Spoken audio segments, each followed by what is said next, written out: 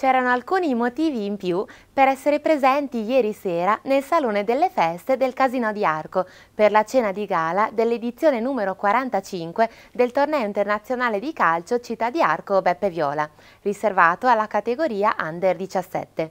In primo luogo la partecipazione straordinaria di Giovanni Trapattoni.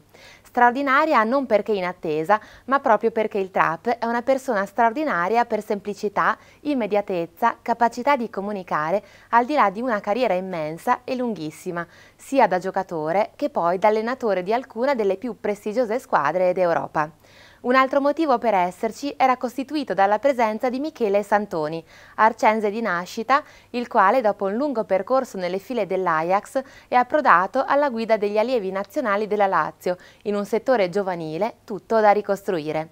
Santoni ha sottolineato la sua emozione di poter tornare nel paese in questa veste, aggiungendo che la partecipazione al Beppe Viola è stato uno dei motivi del suo sì alla Lazio.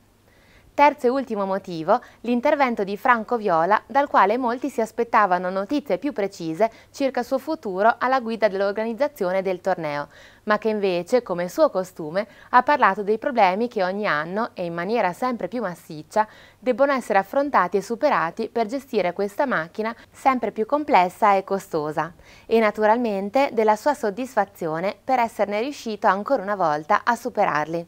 Proprio per il futuro del torneo, che sta nel cuore di moltissimi arcensi, abbiamo intervistato il presidente dell'Unione Sportiva Arco, Roberto De Laurentiis, e il sindaco Alessandro Betta. Anche il mister Trapattoni ci ha rilasciato una dichiarazione. Franco Viola, lo storico organizzatore di questo torneo, ha dichiarato che, ufficialmente che questa sarà l'ultima edizione organizzata da lui e dai suoi collaboratori. Quindi quale sarà il futuro del Beppe Viola? Beh, prima cosa non ci credo finché non lo vedo, perché penso che Viola abbia nove vite, quindi andrà ancora in là. Se poi dovesse cambiare, allora l'arco sarà pronto a riprendere in mano il Beppe Viola, che vuol dire ci vorrà un gruppo diverso, ci vorrà naturalmente anche un progetto diverso, perché se cambia l'anima deve cambiare anche, re, anche tutto il resto e io credo che comunque lo porteremo avanti, è troppo importante un traguardo di 45 anni perché non si continui. Ecco.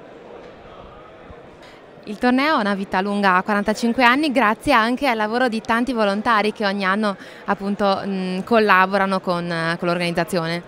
Beh, diciamo che quella è la forza vera, dovessimo pagarla questa organizzazione non sarebbe possibile.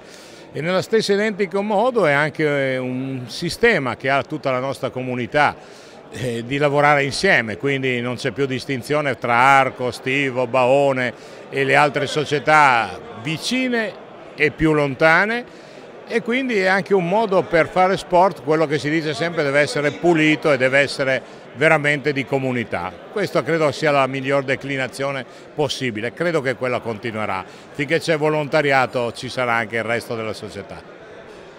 Il torneo Beppe Viola è andato avanti in questi 45 anni grazie anche ai contributi degli enti pubblici che a dire la verità in questi ultimi anni sono un po' calati. Voi avete intenzione comunque di continuare a stare a fianco al torneo? Beh, eh, quello assolutamente. Il Beppe Viola è un patrimonio di questa città, di questa comunità, ma l'intero Alto Garda e Ledro. È vero, il momento economico non è facile e anche l'amministrazione comunale negli anni ha fatto mancare il sostegno economico piano piano, questo è innegabile.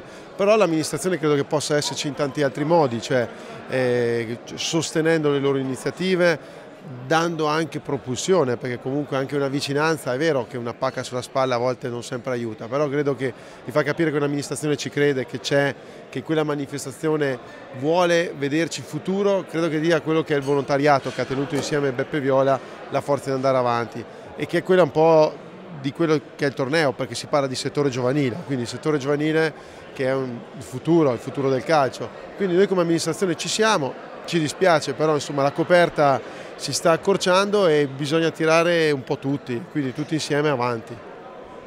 Visto che siamo nell'ambito, quanto ritiene importante il settore giovanile per il futuro del calcio italiano, internazionale in generale? Ma senza dubbio diciamo che la, sono le piante piccole che cresceranno e visto anche oggi questo torneo e le squadre che hanno partecipato, anche la qualità di questi giovani.